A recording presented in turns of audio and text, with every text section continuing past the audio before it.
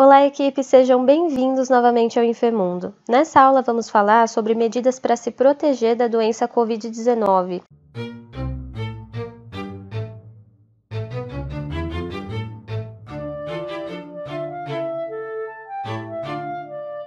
Então, sabemos que é um desafio se proteger de um inimigo invisível. Como podemos fazer isso?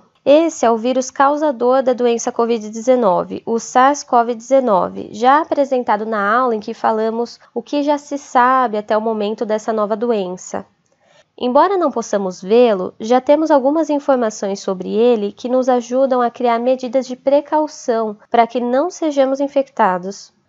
Podemos começar dizendo que quando a área está infectada, Fique em casa, evite principalmente aviões e transporte público, como ônibus lotados e lugares lotados em geral.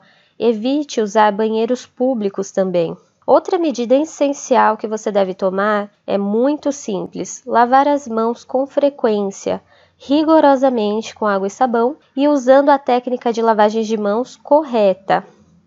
Sem visitas, Evite ao máximo contato próximo com pessoas sintomáticas ou potenciais infectados. Não compartilhe copos e talheres. No caso de contato próximo com pessoas infectadas ou potenciais infectados, use uma máscara de qualidade, de preferência N95, óculos protetores, use luvas e tenha uma higiene das mãos de acordo com a técnica.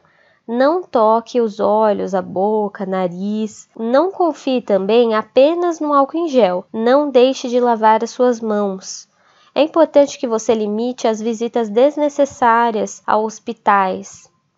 Mantenha uma boa nutrição. Lembre-se da importância da exposição ao sol pela produção de vitamina D, que ajuda no bom funcionamento do sistema imunológico, assim como manter-se ativo e ter boas noites de sono de qualidade. Mantenha-se aquecido no caso de temperaturas baixas, para que não ocorra enfraquecimento do seu sistema imunológico.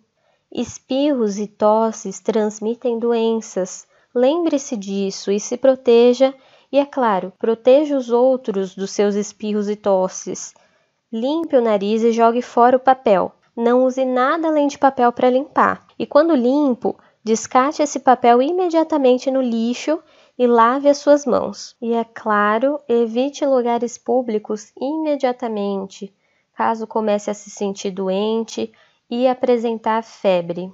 Os links das fontes de pesquisas estão aqui embaixo na descrição do vídeo. Mais uma aula termina, espero ter ajudado com essas informações. Até a próxima aula que vai aparecer na sua tela agora.